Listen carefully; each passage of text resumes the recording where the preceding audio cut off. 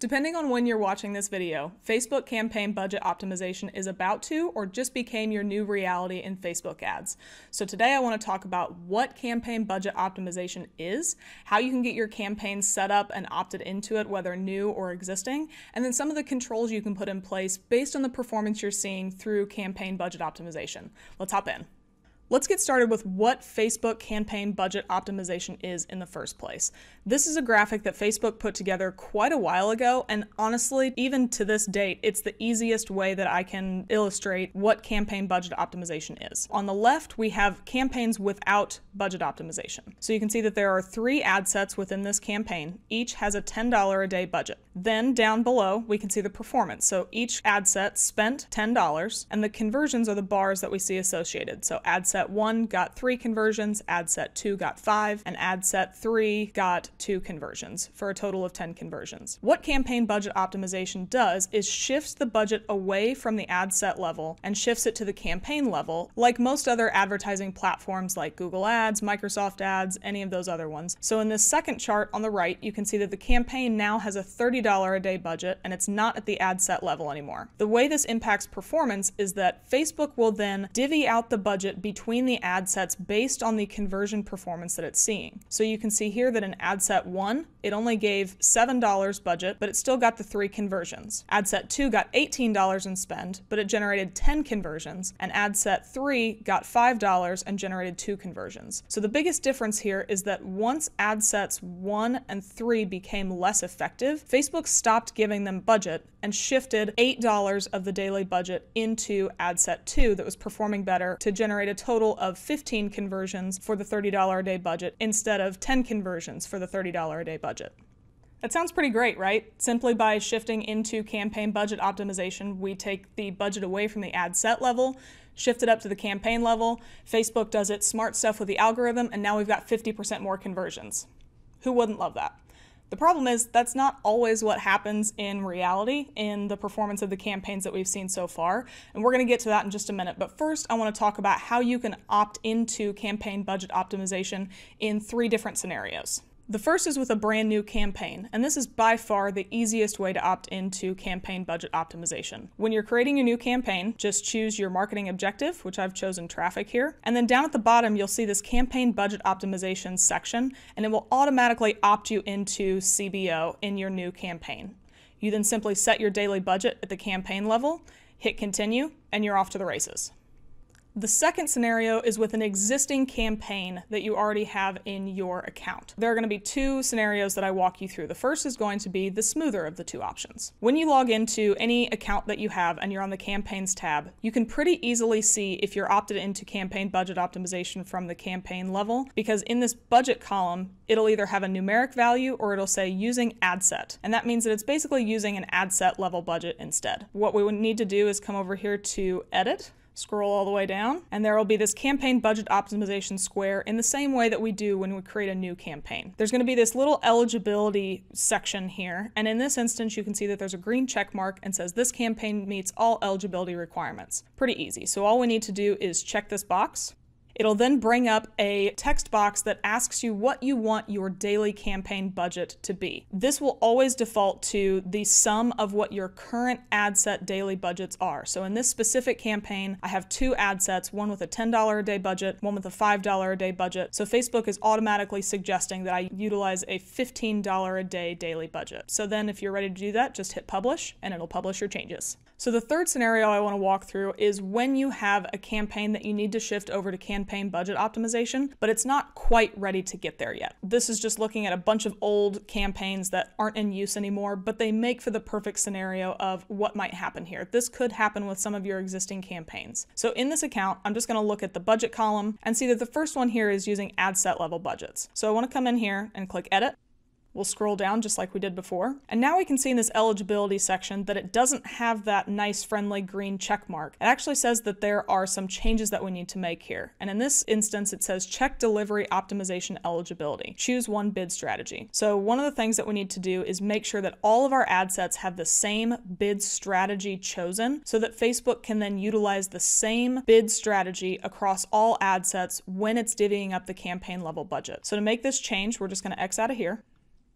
We'll click into this campaign. And then just like we could see at the campaign level, we can see the column of bid strategy and you can see pretty easily that there are some that are lowest cost and some that are bid cap. Neither one of these is the proper one to choose or the wrong one to choose. It depends on your account. So in this instance, if we wanted to update this campaign to campaign budget optimization, we would need to choose either all lowest cost or all bid cap for all of the ad sets within this campaign, and then it would be eligible to update to campaign budget optimization. So now that we know how we can update our campaigns to CBO, I want to talk about the scenario I talked about before when performance doesn't come out quite as rosy as that Facebook graphic laid it out to be. Maybe you're starting to see that the campaigns are sending all of the budget into one of the ad sets and the other ones aren't getting any spend, or maybe it's just not performing the way that you would want to conversion wise and you're not seeing the benefit of having a shared budget across different ad sets. So the first thing I want to talk about is how we can set ad set level minimums and maximums for spend.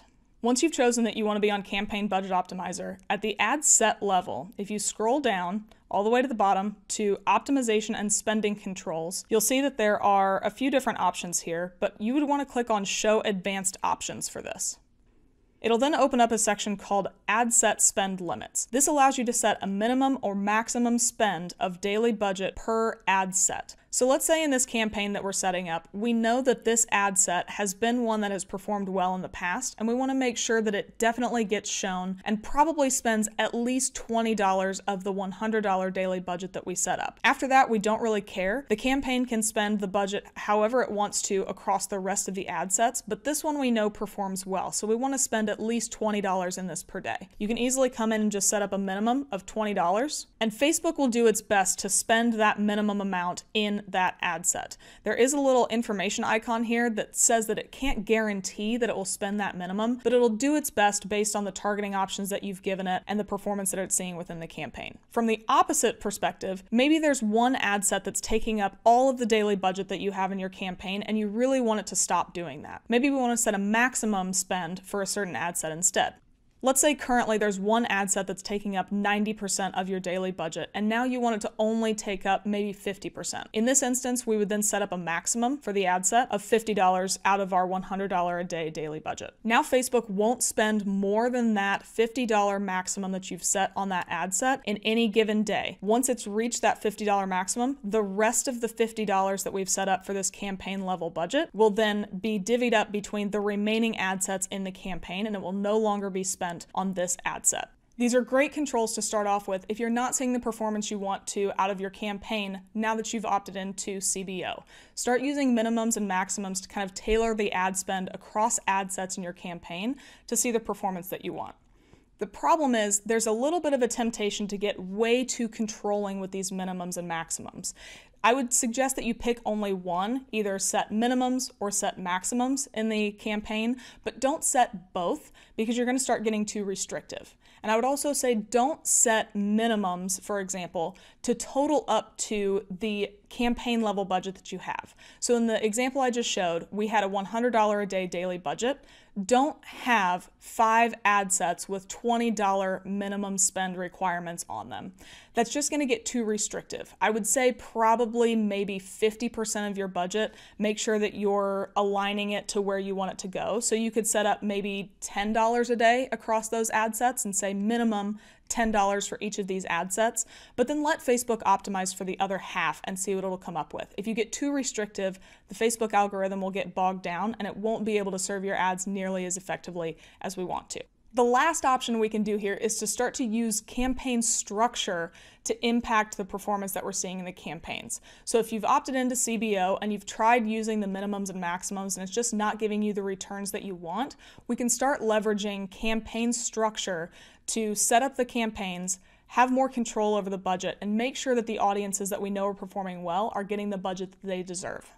So the first option we have here is the traditional and probably existing campaign strategy that you have set up. You've got your campaign level settings, and this is going to share a budget with CBO. And then you've got your three different ad sets. Just for example, I've utilized different types of targeting just so it's easy to see what's happening. But in this example, let's say that our behaviors audience isn't getting the budget that it deserves, or there's some sort of lack of performance that we're seeing from the entire campaign while we're using CBO. And we really want to have more control over how the behaviors audience is performing because minimums and maximums simply isn't cutting it. So the next option you could try is to create a different campaign to target them separately. So here we have the existing campaign on the left, or basically the middle of this entire slide now, that has two ad sets, lookalike and interests. They were performing well together in the previous campaign, so we left them there. But behaviors is one that we wanted to break out to have a little bit more control over. So we created a completely new campaign just for behaviors that just has one ad set targeting the behaviors. We can now control the budget at the campaign level, but it's effectively acting like it used to with ad set level budgets because there's only one ad set in the campaign. There's no other places for the budget to go, so you're effectively controlling it in the same way that we used to to try and maximize returns. This is definitely more of the drastic approach to this, and I would suggest doing this kind of later down the line if you've tested CBO and it's not working well for you, but it certainly is an option, and we're not completely stuck in CBO with potentially lower performing campaigns. There are options, whether it is using minimums and maximums or leveraging campaign structure to get out of it. My hope for you is that once you opt all of your Facebook ads campaigns into campaign budget optimization, everything performs super well but that's just probably not going to be the reality of what's going to happen. So hopefully after this video, you have a better understanding of what campaign budget optimization is, how you can get your new or existing campaigns into it, and what you can do if you start to see performance fluctuations that aren't leaning the way that you would want to, and still be able to control the campaigns as well as you have in the past. Thanks for watching our video. Make sure to subscribe to the Paid Media Pros channel to see more videos.